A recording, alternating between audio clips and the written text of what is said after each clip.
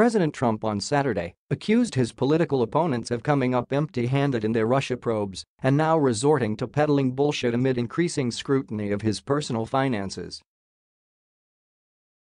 During a two-hour speech Saturday that often scorned its script, the president proclaimed repeatedly he had done nothing wrong and that Democrats are grasping for straws to take him down.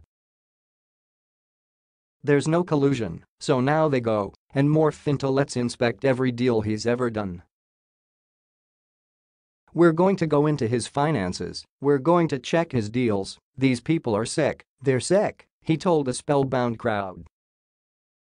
Unfortunately you put the wrong people in a couple of positions, and they leave people for a long time that shouldn't be there, and all of the sudden they're trying to take you out with bullshit.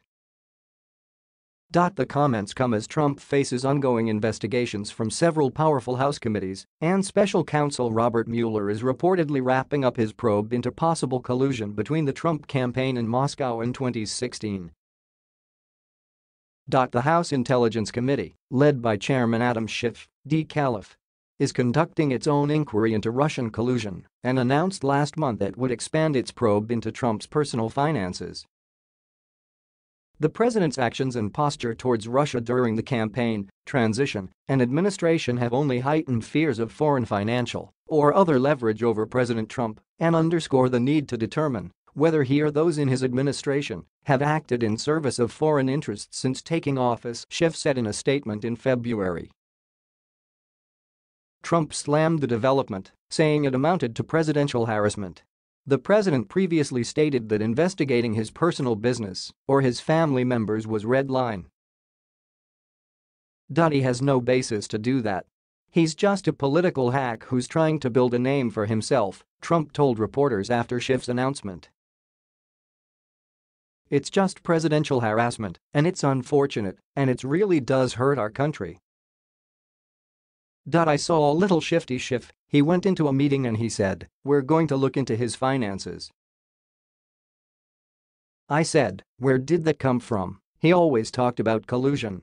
Collusion with Russia, collusion delusion, Trump added Saturday.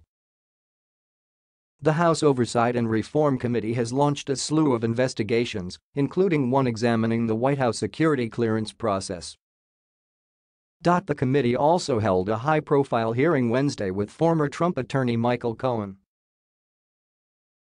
The now disbarred lawyer slammed the president as a racist and a con man who was engaged in a bevy of financial crimes and aware of Roger Stone's efforts to coordinate with WikiLeaks on a dump of embarrassing Democratic documents during the presidential election.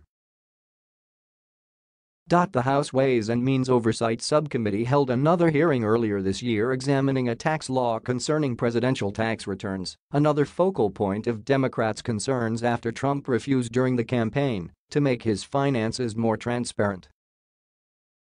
Trump on Saturday repeated usual frustrations over his perceived restrictions in responding to the probes, saying criticism of Democrats' efforts could lead to accusations the White House was obstructing justice. If you use Article 2, it's called obstruction, but only for Trump, not for anyone else, he said, referring to the section of the Constitution laying out executive branch powers. The congressional oversight efforts are all taking place as Mueller quietly wraps up his widespread probe, with observers estimating the final report could be filed in the coming weeks. The inquiry has led to indictments and guilty pleas for a litany of Trump associates, Trump lashed out at the special counsel Saturday as well, noting that Mueller never received a confirmation vote to be special counsel, a position for which no congressional approval is required. The ongoing investigative cloud hovering over the White House has plagued Trump nearly since his 2017 inauguration, resulting in repeated claims Mueller and House Democrats are leading a witch hunt to make up for an embarrassing loss in the 2016 election. However, Democrats have expressed no desire to stem the pace of their investigations, with the House Intelligence Committee most recently calling for testimony from Trump Organization Chief Financial Officer Alan Weisselberg over Trump's personal financial habits